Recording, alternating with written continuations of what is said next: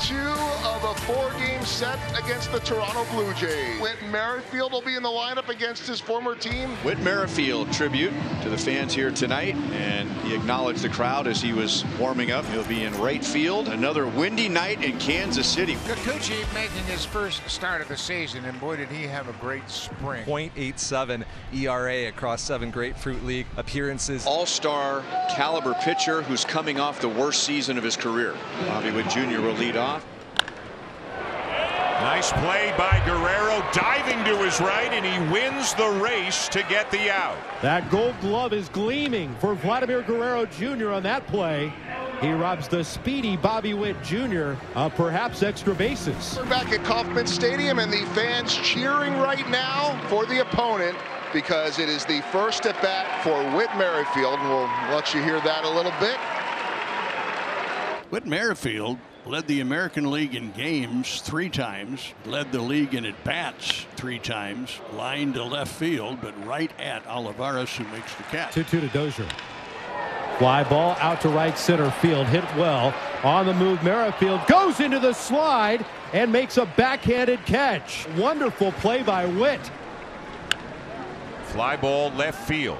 Varsho coming over near the line, sets up, makes the catch, runner tags, throw to the plate is right on the money. What a throw by Dalton Varsho, easily getting Matt Duffy at the plate. Varsho makes the catch, displays the arm, had it on the money to Jansen, and they cut down Duffy. Bo Bichette flied out to deep center field in the first inning. 1 2. Line right back up the middle, a base hit into center. The hit parade continues for Bo Bichette. One out base runner for the Blue Jays, trailing 1 0. Vladdy walked his first time up.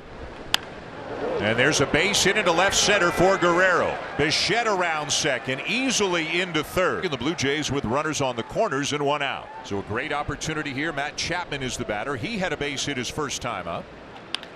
Sharply hit and into left field, a base hit. In to score Bichette. Garham on base. Whit Merrifield leads off the top of the fourth inning. 1 2.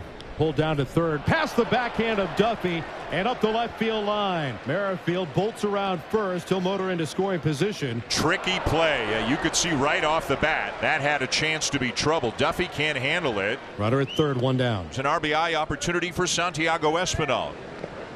That one swung on and missed, bounces away, and Merrifield strolling home. So it works out. The wild pitch will give the Blue Jays a 2 to 1 lead. So that puts him at first and second with one out and brings up Nate Eaton. 2 2. Swing and a miss. Got him with a fastball. An elevated heater from Kikuchi. Nicky Lopez, the second baseman tonight. Can he get Nicky Lopez and get through five? The 2 2 on the way, and he got him. A great slider down and away. Lopez swings over the top of it. And if that's all, it is a terrific five innings and a very encouraging first outing of the 2023 season for Yusei Kikuchi. Royals trail the Blue Jays 2 to 1. We begin the top of the sixth. Dalton Varsho leads off. With The Blue Jays leading 2 to 1. And Varsho sends one in the air, fairly well hit, to the opposite field, and it's gone.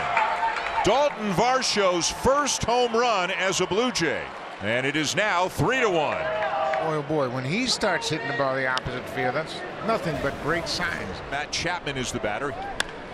Matt Chapman line drive right center field and he's done it again. It'll be his third hit of the night his third double of the series and he's now got 11 hits in the first five games which ties a franchise record. And here's Varsho trying to beat out a bunt for a base hit and he's going to do it. We have talked about it briefly before but this is a real weapon for him when he has gotten a bunt down, trying to beat it out for a base hit in the last two years. He's tried it 16 times. He's made it 15 times. Now Danny Jansen at the plate. A fly ball to right field. Eaton racing over towards the line. It's dropping and it's fair. The throw to second is in time. It's going to be a fielder's choice in an RBI. Jordan Romano will get the bottom of the ninth inning with a three run lead.